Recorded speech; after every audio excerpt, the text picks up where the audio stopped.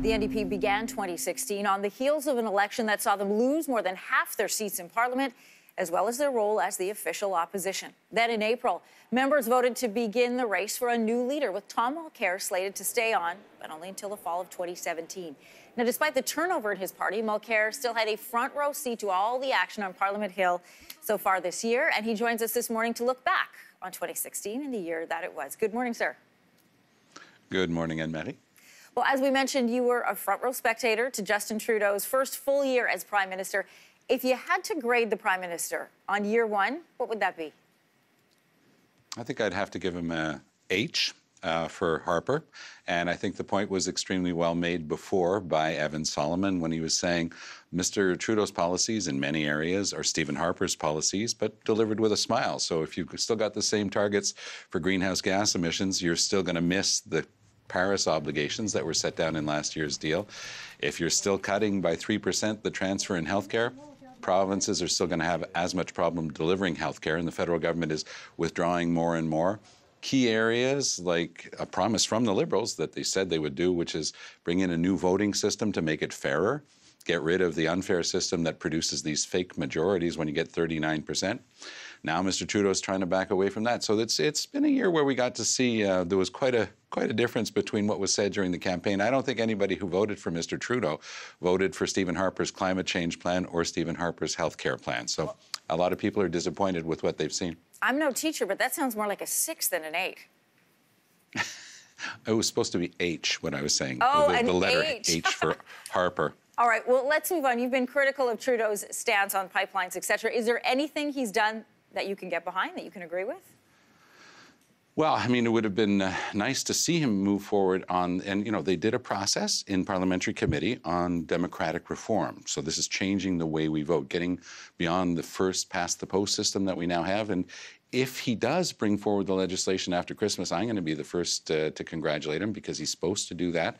That would make it a more fair system, head towards what 90% of the people who appeared said a proportional system. So, yeah, that would be a really good move in the right direction.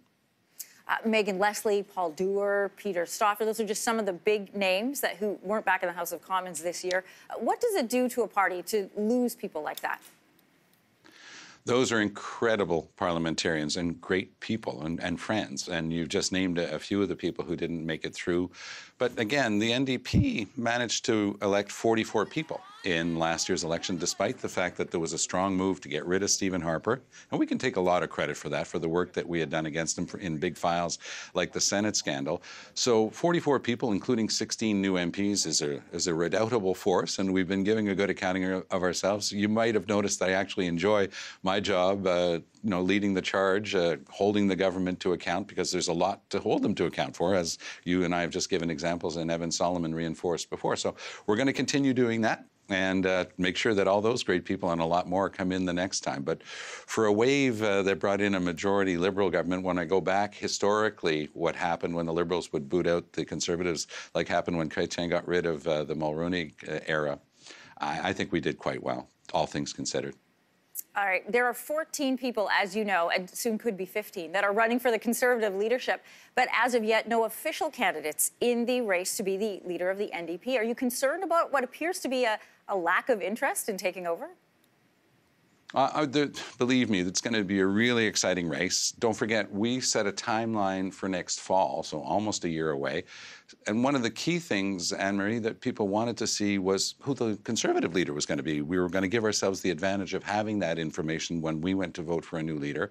And I was asked by the caucus and by the party to, to stay on and steer uh, our ship uh, into the right port and on time. And we're doing that. We're doing a lot of cleanup in terms of administration and politically, we're, we're giving a good accounting of ourselves.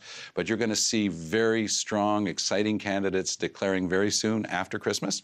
And I'm looking forward to a, to a great race, as is every member of the NDP. What does this next leader of the party need to do to bring to bring the NDP back into relevancy and to unseat Justin Trudeau in 2019? Well, these things are cyclical. I guess the older you get and the more experience you've got, the more equanimity you have when you look at these things because you're able to look over the horizon. And it's just that. There's going to be a, a leadership uh, race in the fall that'll create, in and of itself, a lot of interest. New ideas will be on the table, new people uh, will be added to the mix. And that's going to bring up our notoriety, and people will take a lot more notice.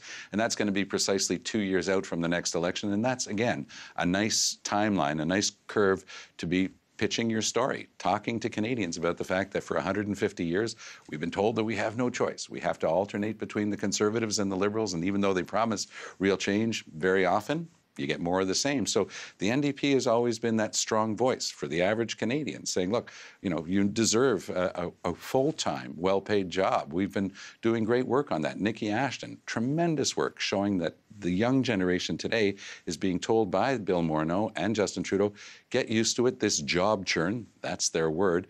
Part-time, low-paid, precarious work. That's your lot in life. We don't agree with that. We want to create good, full-time jobs. So we want to make sure that corporations start paying their fair share of taxes. We're the only ones who wanted to increase corporate taxes in the last campaign.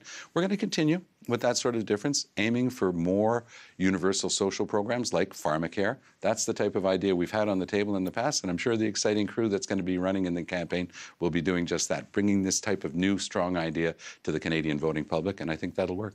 Well, Merry Christmas and a happy holidays to you, sir. Tom Mulcair, leader of All the the best to you and your family. Thank you you. very much, Anne Marie. Bye bye.